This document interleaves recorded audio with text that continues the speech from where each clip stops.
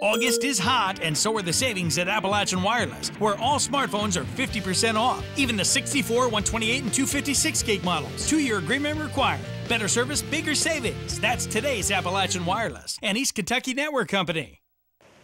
A mine blowout in Pike County damaged roads and driveways of residents in the Millers Fork Road area of Feds Creek today. Damage that some residents say they can't afford to fix.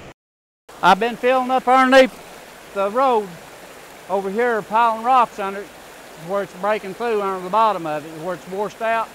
But uh, I've got this much uh, filled in to where I can get across it as of time right now. As of as of now, I do, do not have the money to replace it with, and I'm I'm sort of in the bind, and I just have to bear with it.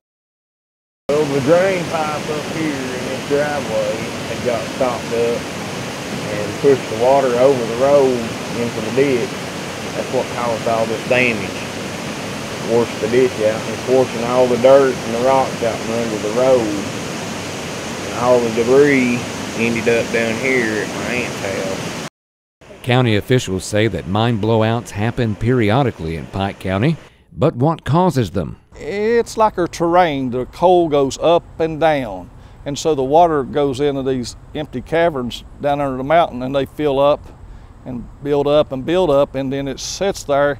And where they mine close to the outside, they call it the outcrop, the pressure gets so great sometimes with water being, there, being held up that it eats through the dirt and then it blows itself out. So all this water that's built up back there comes rushing out.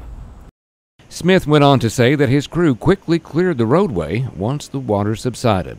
Reporting from Feds Creek, I'm Sean Allen for EKB News.